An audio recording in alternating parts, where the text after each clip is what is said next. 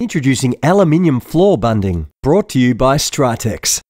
Solid and robust, aluminium floor bunding is designed to withstand frequent heavy traffic from industrial and mining vehicles. It contains and diverts hazardous liquid spills for wash bays, fuel depots, liquid storage areas, and truck parking facilities.